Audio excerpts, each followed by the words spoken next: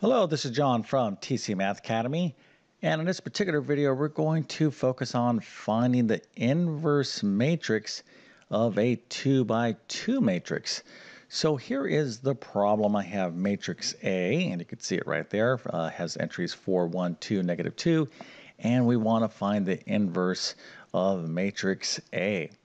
Okay, so there is a formula that you need to know, and I'll give it to you in a uh, second here. But if you could figure this out, okay, if you know the formula, if you want to look up the formula, I think that's uh, fair. But see if you can actually apply the formula. And if you can find the inverse matrix, go ahead and put that into the comment section. Then, of course, I'm going to show you the formula, and then we're going to apply the formula to solve this problem. And this is something that you absolutely need to know how to do, especially if you're taking like Algebra 1, Algebra 2. If you're studying matrices, you're going to have to know how to find the inverse matrix. Also, if you need math help with the course you're taking, test prep, or homeschooling, make sure to check out my math help program at tcmathacademy.com. You can find a link to that in the description below. And if this video helps you out, don't forget to like and subscribe, as that definitely helps me out. So here is the formula for uh, the inverse matrix of a 2 by 2 matrix. Okay, so here is basically how we want to interpret it. So given a 2 by 2 matrix with uh, its entries A, B, C, D, okay, its inverse is the following. Okay, so I'm not going to fully explain that because I'm showing you the uh, actual formula right now. Of course, I'm going to explain this in just one second. But um, anyways, can you interpret this formula? Okay, do you know what this means right there? Okay, hopefully you do. And of course, you can kind of just see, hey, we have these uh, respective uh, variables and they're kind of shuffled around a bit here, but you need to know what this is. And uh, if you know how to do this, you're like, oh, okay, I remember that. We'll go ahead and give this problem a try again. Okay, so let's go ahead and get into the actual work right now. So here's our matrix A. So what we have to do is simply follow this formula. Okay, so to find the inverse of matrix A, we have to uh, just take this formula step by step. So the first part of this formula is right here. We have 1 over this thing right here. So what is this? This is the determinant of A. Okay, so this is what this means right here. You know, we kind of write it as det A. This is the determinant of matrix A. Okay, so anytime you have like these bars, they look like absolute value bars. We have to find the determinant of this uh, matrix, whatever given matrix is, and we have that given matrix right here. So we're going to write that right here. So we have 1 over the determinant of 4, 1, 2, negative 2. So that's this 1 over um, the determinant of A, and that's going to be multiplied by this right here, d negative b, negative c, negative a. And this part of the formula, good way to think about this is the following. Take a look at these uh, diagonals right here. We have c and b. So we still have c and b right here. It's just the opposite. Okay, so whatever you have on this diagonal, just put neg put the opposite signs. Okay, if it's negative, it becomes positive. If it's positive, it becomes negative. That's what this is. And then along this diagonal right here, this gets flipped. Okay, so A goes to where D's at and D goes to where A's at. Okay, so you're going to flip here, and then on this one here, you're going to be thinking opposite. So this is important because if you're taking a test, you know, sometimes you're not allowed to have your little uh, formula with you. So you just need good ways to remember this, you know. Uh, now, this isn't something that I would suggest that you remember all the time because, you know, you can always look up this formula. But anyways, that's what we're going to be doing. We're going to flip across the diagonals this way, and we're going to take the opposites this way of our original matrix, right? So we're going to flip uh, right here. Okay, nope, not flip, excuse me. We're going to flip these guys, and then these ones here, we're going to take the opposite. So let's go ahead and do that now. All right, so let's start with this. We'll take the opposite here, so this would be negative 1, negative 2. Okay, so we had a positive 1, positive 2, negative 1, negative 2. And then right here, we're going to flip these two entries.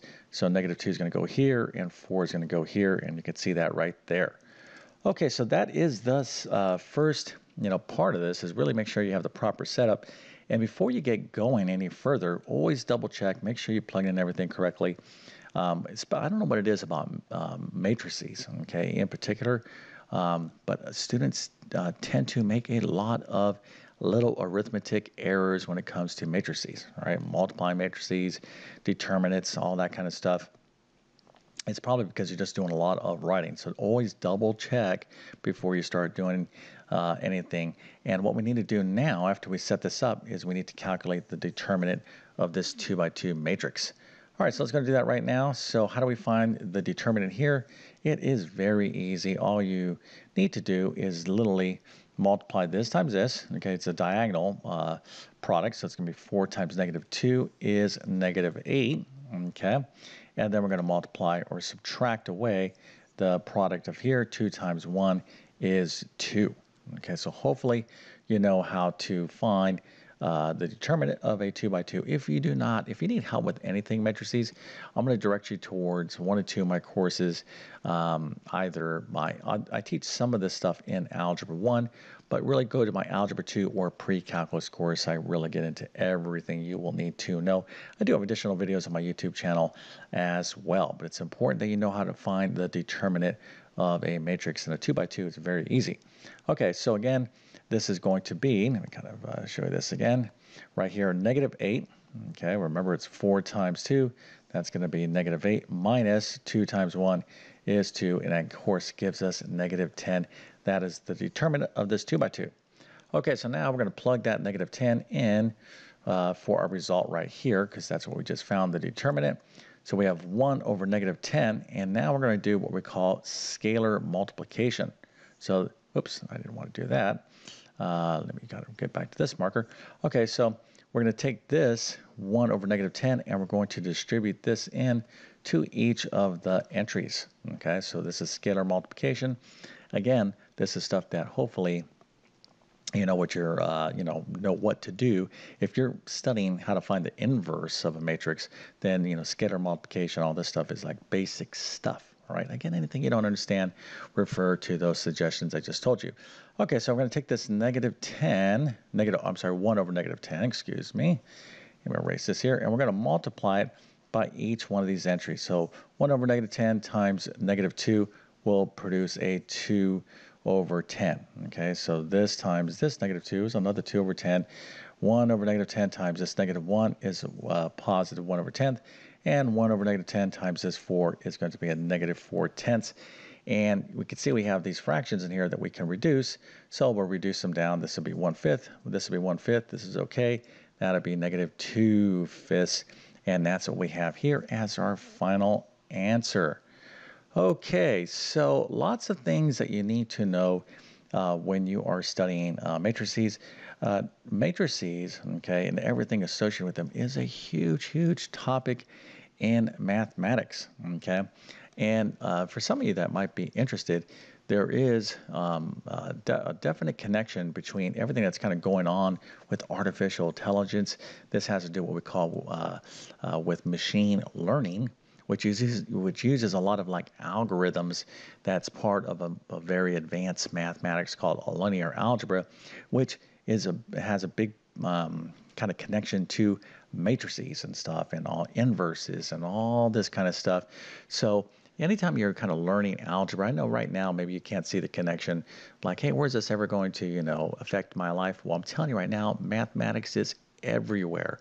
So if you're using any kind of technology, you know, anytime you go on to your onto the internet or anything you do, there's a huge amount of powerful mathematics driving all that. Okay, so uh, anytime you're like, yeah, I'm wasting my time learning this, well, you know, not really. Okay, someone needs to know this stuff, and maybe it's you.